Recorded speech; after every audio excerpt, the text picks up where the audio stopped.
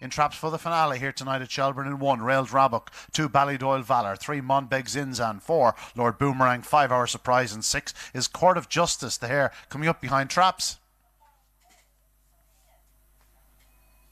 Racing, good start by Trap 2. Ballydoyle Valor up his inside. One rail Rabok, but it is Ballydoyle Valor leads into the opening turn. In second spot, Trap 3. Monbeg Zinzan and one rail Rabok now goes round second, staying close to the fence, but it is two. Ballydoyle Valor on by three lengths. Two in second, one rail Rabok, a gap in third to four. Lord Boomerang and three. Monbeg Zinzan, but still Trap 2. Ballydoyle Valor going to lead them off the final turn. One in second spot, rail Rabok, three in third. Monbeg Zinzan, but two. Ballydoyle Valor back to winning ways. Second is one rail Rabok. Three is third Monbeg Zinzan. The winning time is very quick, as you'd expect, 30 91.